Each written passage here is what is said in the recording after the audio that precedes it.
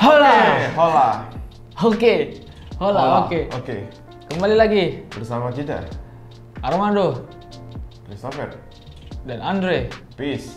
di Acara kabar kabarin dong. nggak gitu dong. Oh, kabar ka- kabar kabarin. Eh, Dijawab, kabarin dong gitu. iya kan udah jawab.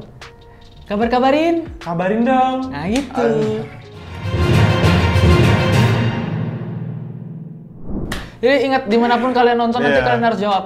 Iya, biar ini kan interaksi Iya. aja. Kabar kabarin. Kabarin dong. Anjay. Enak. Ih, Makanya mantap. udah kayak namanya spontan aja gitu. Uhuy. Bagus. Iya. Nangkep. Oh ya, interaksinya di penonton nggak tahu ya. Iya. Apakah sama nggak kalau dia ngomong spontan? Uhuy. Asik. Apakah dia juga uhuy? Spontan. Intinya jangan lupa yang sedang uh, berwisata mancing mania. Mantap. Asik. Yang sedang mantap-mantap. Mancing. Iyalah. Oke, jadi kita nih hari ini ada berita apa aja nih, Bang? Hari ini Ah. ada berita em, kurang lebih ada tiga yang Ada udah tiga. disurvei dan dirangkum sama tim kita yang terjun, Oh, tim khusus. Terjun langsung. Enggak tim, maksudnya tim terjun khusus. Ya, Oh. dari pangkalan udara. Wow. Pangkalan udara kan suka terjun. Oh, jadi terjun. iya, terjun, terjun payung. banget pokoknya. Kagak, itu nggak main blowing, itu masih aman. Oh. Masih aman lah ya? Masih aman. Oh, masih aman. Langsung aja ya, Andre. Oke. Ke berita pertama yang aku nggak tahu nih apa berita ini bisa buat kayak kayak Eh, berita yang bakal dibacain sekarang. yang dua kali waktu baca yang pertama Emang ini. berita apa dulu? Berita yang pertama ini, Ah. Dre. Baru-baru ini ada seorang kakek bernama Umar yang Ah. berusia 60 tahun di Kabupaten Mamuju, Sulawesi Barat menikahi gadis yang berusia 17 tahun. Tunggu. 60, Yes. 17, Yes. nikah gitu. Hmm. Si cewek cinta. Kurang tahu. Kurang Yang menurut tahu. survei. Menurut survei nggak tahu ya kan mungkin kisah cintanya bukan konsumsi publik sebenarnya. Iya sih, benar sih. Tapi kita berandai-andai aja. Tapi parah. Mungkin kakeknya itu kaya raya, Emang emang apa apa yang diberikan sama kakek sampai maharnya Heeh. 5 juta.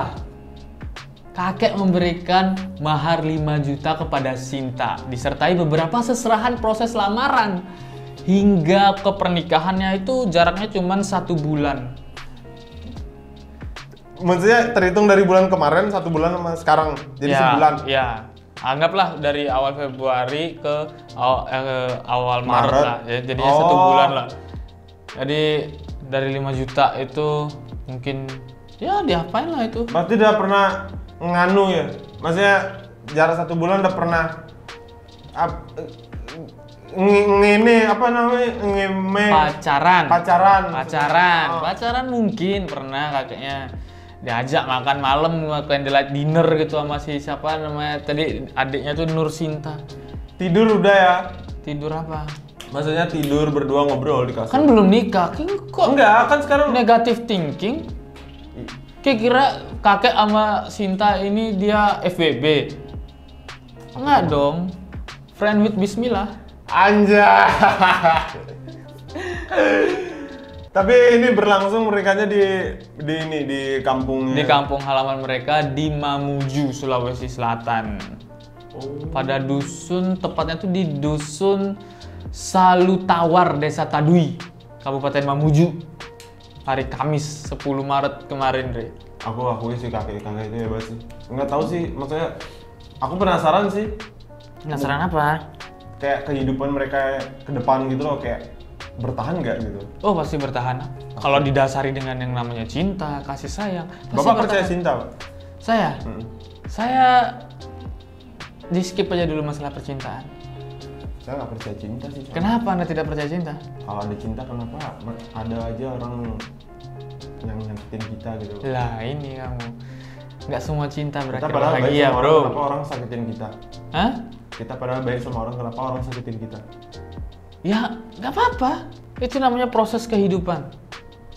Bayangin aja, Berapa perempuan yang udah nyakitin si kakek sampai akhirnya menemukan Sinta? Kayak mungkin jodohmu belum lahir, Andre. Mungkin pas kayak udah 10 hari menjelang meninggal baru lahir jodohmu. setan oke kita peduli setan lah sama itu kakek sama siapa lah itu yang tujuh Kok peduli tahun. setan? maksudnya peduli amat lah gitu Kok peduli amat? Aku sangat peduli. Mentalnya Sinta bagaimana? iya kan? bener sih bener sih kayak ya, tapi tapi Masa ini Sinta makan lalapan, kakeknya nggak bisa makan? Eh, Bukan karena nggak ada gigi, oh nggak boleh terlalu asin, darah tinggi naik. Tapi kayaknya semoga Sinta ini baik ya. ya semoga Bukan karena menginginkan kayak harta ya, Sinta ya. Heeh. Kalau ngingetin harta Please. kan baru nikah berapa bulan kakeknya dibuat sakit. nggak dicetik. Oh, oh, kakeknya udah yang didorong kursi roda. di Oh, oh. dijorokin ke Sinta cuman hmm, rasakan. Indosiar banget Indosiar Hmm, tapi itu pasti akan terjadi dan mungkin aku yakin itu pernah terjadi, Andre. pasti sih aku juga yakin gitu sih Di belahan dunia mana pun ya, apalagi di Indonesia lah, pasti ada. Jangan kan banget masalah harta, harta ya kayak rumah gitu. Kayak beli HP aja ada orang iri pasti, Iya. iya kan? Dan semoga emang ini pernikahannya didasarkan cinta ya, bukan hutang. semoga dapat momongan lah ya Bisa, bisa bisa. Yang penting kakeknya masih kuat lah. Eh tapi emang nggak bisa ya du- 60 tahun memberikan anak bisa bisa nggak ya? Bisa lah. Bisa, bisa Nggak kayaknya. Kecuali kalau perempuan itu kan ada menopause. Kalau laki-laki kan aku nggak. Metaverse. Oh, ya, ya, ya, ya ampun. Oke. Metaverse. Iya. Selanjutnya dan ada berita apa Oke, lagi sih? ini sekarang giliran gue ya. Iya. Ini ada kabar baik nih. Apa, Andre? Untuk masyarakat yang tertipu. Sama Yang siapa? kemarin kita bilangin Raken sama Doni Salmanan tuh, yang dia suka bohong-bohong tuh, yang katanya afiliator, dia bisa ngasilin ini, ini, da, dari pekerjaan ini, pekerjaan ini. Ternyata Ini sekarang berita baiknya adalah untuk masyarakat yang tertipu penipuan aplikasi ada Binomo, hikmahnya dari Ada hikmahnya. Nggak usah khawatir bilang, uang saya udah habis, uang saya. Tenang aja. kenapa? Kabar baiknya ini, ini. Binomo dan Quetex, Aha. oleh Indra Kents dan Doni Samaran kemarin Betul itu. sekali. Jadi kemarin Bapak ba, eh, Kabar Reskrim Polri Komjen Pol Agus Adrianto Oh, mengatakan Bapak kabar reskim itu apa? Kabar reskim. Kabar Reskrim itu Kamu suka mancing saya emang ya? Saya lagi bacain berita, kamu jangan, jangan potong-potong dong. Kalau kayak gini mah saya nggak suka. Kabar reskim berarti Anda belum tahu ya? Enggak tahu, cuman kan saya lagi pa- pada saat posisi ngomong meng tiba-tiba dipotong kan ntar kesannya beritanya kayak gimana bang? Oh, ini Makanya beritanya serius dulu. ya. Ditunggu-tunggu soalnya ya. Iya, tunggu dulu bang, maksudnya selesaiin dulu, baru potong. Oh, oke, siap. Gimana? Tahu sih Lanjut. bang, nanti di kalau masih penasaran nanti saya kasih tahu. Oke, jadi kemarin Bapak Kabar Reskrim Polri Komjen. Komjen Pol- apa? Bang, kan jadi gini bang konsepnya bang, baca berita dulu, kelar, pasti juga Komjen ini komisaris jenderal. Ah, komisaris. Kalau bapakku Tengjen sih, A- apa tuh bang? tetangga jenderal. Oh, Kurang ya? kurang sih bang. Kurang ya. Lanjut ada Pak. Andre. Jadi kemarin Bapak Kabar Reskrim Polri Komjen Pol Agus Adrianto mengatakan bahwa uang korban penipuan aplikasi Binomo dan Quetex oleh Mhm. Indra Kents dan Doni Salmanan Yes. bisa kembali. Wow, dengan cara Nah, dengan cara apa? Oh ini cara apa? cara ngembalin uangnya. Iya caranya gimana? Gini, jadi caranya tuh kayak yang gue baca-baca sekilas tuh kayak Hmm. eh, jadi para korban itu harus membentuk paguyuban. Siapa yang bilang kayak gitu? Hah? Siapa yang bilang kayak gitu? ini kabar eskrim kon bang kabar eskrim eh, siapa tadi entah gue takut salah ngomong lagi Eh, bapak komjen, Komjen. Pol Agus eh, Adrianto Oh, jadi Komjen para korban Pol. Iya Bapak kabar reskim Komjen. iya kamu jadel ya Hah? kabar eskrim kamu Kab- oh iya, aku agak sadel. oh iya oke Iya, jadi bapak bapak eh, komjen itu bilang gitu. Jadi para korban harus membentuk paguyuban. Mhm. Kenapa harus membentuk paguyuban? Iya, eh, para korban itu harus membentuk paguyuban, lalu kayak menunjuk kuasa hukum gitu, dan mendata investasi yang udah ditanamkan dan nantinya secara bersama-sama mengajukan ke pengadilan supaya Heeh. aset sitaan dapat dikembalikan gitu. Oh. Nah, ngomong-ngomong, Dre, Apa tuh? masalah sitaan, Hmm. Barreskrim Polri telah menyita aset terkait investasi ilegal dengan total mencapai lebih dari 1,5 triliun rupiah. Iya, aku kemarin sempat lihat itu rumah, mobil, motor, taplak meja, Wah, disita semua. wah, Tapi aku tidak pernah melihat koruptor dibegitukan. nggak kamu nggak konek. Kenapa? Wah, murah banget. Wah, apa? Wah, murah banget. Ah, nggak konek. Oh, aku kan tidak mengikuti dia. Aku tadi spontan aja. Siapa Indra Kens? Aku tadi spontan aja. Kalau misal Aku oh, tadi spontan aja. uwi, uwi, uwi. Makasih bang. Ya lanjut. Kita tahu dulu, aku tuh Iya, nggak pernah ngikutin yang namanya Indra Kens. Oh, Kalau nggak gara-gara baca berita ini, kita di sini berdua. Aku tidak peduli Indra Kens. Iya. Dia siapa? Doni siapa lagi itu? Doni Salma Sal Salmanan. Salmanan terus Indra Kens itu pertama kali di TikTok sih bang, itu viral bang. ngapain dia joget-joget? Keplak, Iya. keplak gitu. Nah, iya sih. Enggak, dia tuh kan dulu kan kayak yang beli-beli mahal, jam tangan mahal. Wah, murah banget gitu-gitu. Cuma kayak makin ke sini kayak Oh. biarin aja lah, mungkin dia baru Oh Indra Kens. OKB mungkin. Indra Kens saya yang bilang miskin itu privilege. Iya mungkin ya, mungkin sih bang. Mungkin ya. Indra Kens ya siapalah ente ya terserah lah ya. Masih teman-temannya ini juga kayak, eh mereka temenan nggak sih sama Okarin? Oh Karin, Enggak sih Indra Kens ini, nggak tahu ya mereka udah kenal follow-followan nggak sih? mungkin. Eh tapi ngomong-ngomong tentang Aukarin, Dre. Ada apa nih? Kabar terakhir yang akan kita sampaikan ini tentang Aukarin. Kebetulan tentang Okarin juga. Tentang Aukarin. Aukarin yang mempunyai hubungan dengan kekasihnya Siapa tuh bang? yang mau konser di Bali dekat-dekat ini. Yang lagunya Oh. celana jeans. Gangga Kusuma, judulnya bukan celana jeans bang, Apa? blue jeans. Ah, nyanyinya gimana deh? Nyanyiin dong. Iya bang. Nggak tahu lagunya? Tuh, Gimana ya? kamu tidak tahu lagunya, Andre. Tapi kamu tahu kebusukan Gangga Kusuma. Emang dia lakuin apa? Dia ngeprank. Aukarin dengan lamarannya itu ternyata. Aku nggak tahu ya, mungkin bukan ngeprank sih, mungkin lebih ke putus lah ya. Tunangan terus orang ada hubungan kan putus gitu. Padahal ini hubungannya sudah berjalan selama beberapa tahun. Mereka tuh udah putus nyambung gitu, Andre. Ya, yang kemarin sudah bertunangan November 2021 kemarin. Tapi nggak jadi nikah. Nggak jadi nikah. mampus. pacaran lama terus nggak jadi nikah itu termasuk investasi bodong nggak ya kayak aku jemput dia nih udah ngeluarin uang bensin Oh iya iya sih. iya kan Iya sih. Enggak, tapi kalau misalkan udah dapet nanam bibit, mah lunas itu bang. nanam bibit ya aduh kan ya itu balik lagi ke Iya. mereka nanti lah gimana menanam bibit nah semuanya itu bermula dari tweetnya Aukarin dia Andre di Twitter dong kalau udah tweet kan nggak mungkin dong tweet di Facebook Eh, nggak mungkin. iya kan Tweet Heeh, atau apalagi story WhatsApp nggak mungkin. ya ya Aukarin buat story WhatsApp orang tuanya di hide nggak ya Nah, itulah bang. Pasti bang. Kayaknya ya. Yang berisi tentang cara menghindari sakit hati. Itu isi tweetnya, Andre. Tidak lama pun setelah itu, Aukarin menghapus tweetnya, tapi yang namanya netizen kan cepet Gercep. banget. Ah, gercep ya? ah, ah, mereka udah banyak yang screenshot tweet yang dihapus itu, Andre.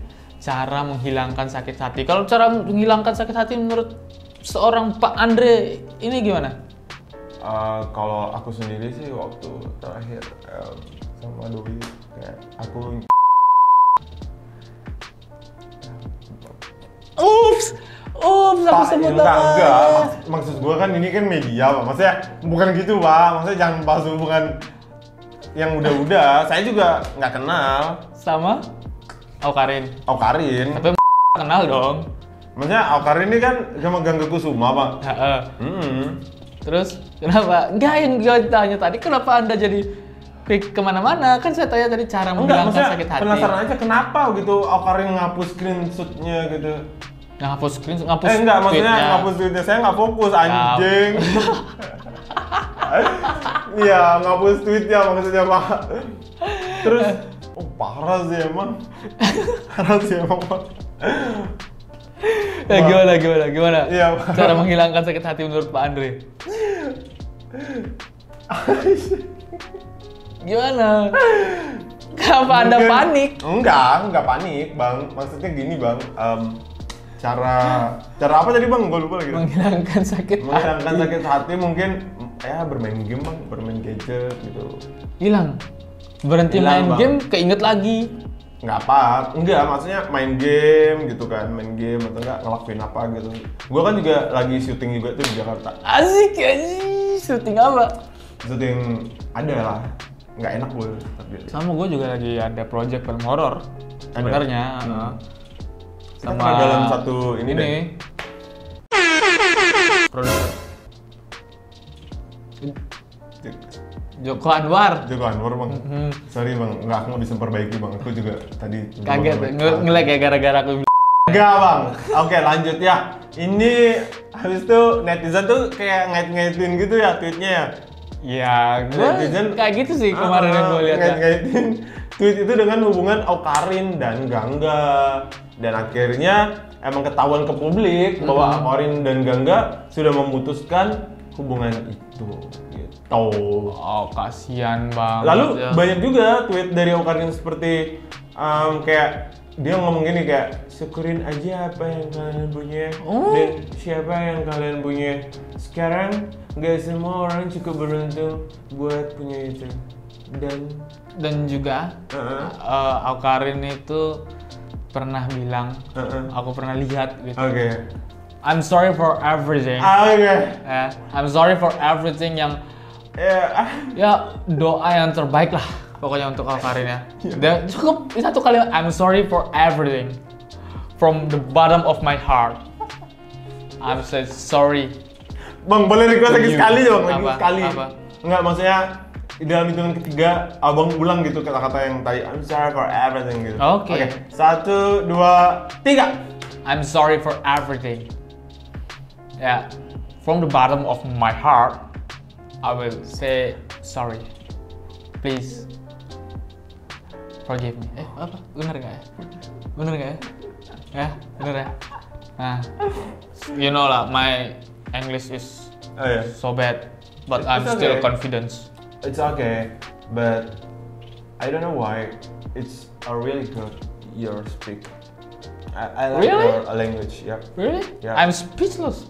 Yeah. Like um, um British ya. Iya, dan berita tentang Aukarin Ya. dan Gangga ini cukup membuat publik tuh jump scare, Wow. kaget, Iya. Hah? Putus. Padahal si Gangga ini mau konser bentar lagi di Bali. Iya kan? Udah lagunya cuma satu yang terkenal, Anda putus-putusin Aukarin. Anda mau konser di Bali. Mau konser di Bali. Memang mungkin di Bali fans Aukarin nggak banyak lah ya. Iya. Nggak banyak mungkin. Ya Nggak ada, ada, tapi mungkin nggak banyak. Tapi Gangga saya peringatkan Anda nanti di atas panggung ketika Anda nyanyi celana jeans itu pasti ada yang teriak Aukarin, Aukarin. Ya bayangin dia lagi mencet kunci A. Eh, kunci apa gitu? Lagi mencet kunci A mau nyanyi. Zreng. It's you. Eh bukan. Bukan itu lagunya. Lagi mencet kunci A. Oh, Bukan dong. Tuh kan kita juga tahu lagunya gimana kan? Ini manusia siapa sih? Maksudnya saya nggak tahu dia gitu ya udah sih. Enggak, nggak tapi aku pernah nonton itu videonya dia oh, berlutut minta Aukarin untuk jadi teman hidupnya gitulah. Nah, Lebay iya. amat ya Aukarin sama si Gangga. Aukarin dulu Aukarin ini aku ngeliatnya kayak apa sih? Iya emang dari sampai sekarang sih gue. Sampai sekarang kalau ngeliat Aukarin kayak kurang gitu ya. Iya kurang aja gitu. Semoga Aukarin dan Gangga hubungannya baik ke depannya. Sampai jumpa di episode selanjutnya. Saya Andrew Fish. Saya menunggu stopper. Sampai jumpa. Mantap. Jawab. Mang, kabarin dong. Salah dong. Oh, oh, fokus. Ulang, Mang. Spontan. Oi. Asik. Kabar-kabarin. Kabarin dong. Bye bye. Bye.